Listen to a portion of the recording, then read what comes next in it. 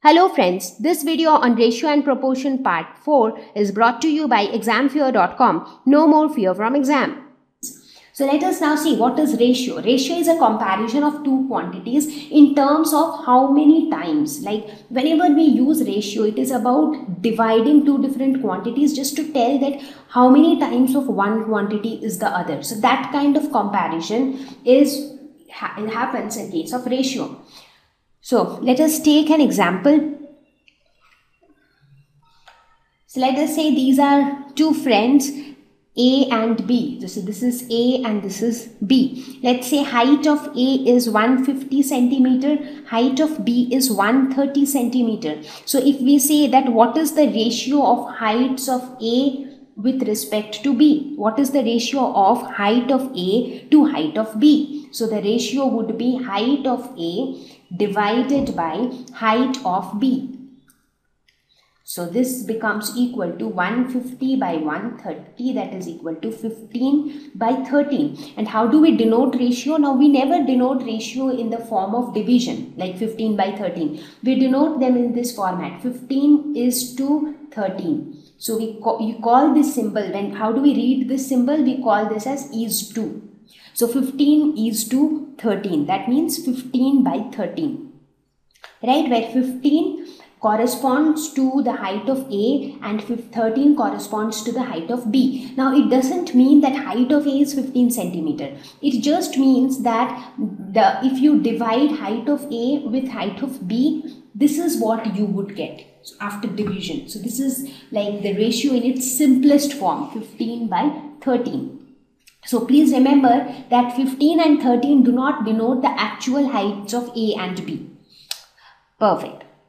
Similarly, if we say that height of A is 2 times the height of B, then what would be the ratio? So if we say that height of, so th this was one example. Now we are taking a different example. Let's say that height of A is equal to twice of height of B if this is a given condition in that case case what would be the ratio of height of a to height of b? So the ratio would be height of a which is let, let's assume that the height of a is x then the height of b would be how much?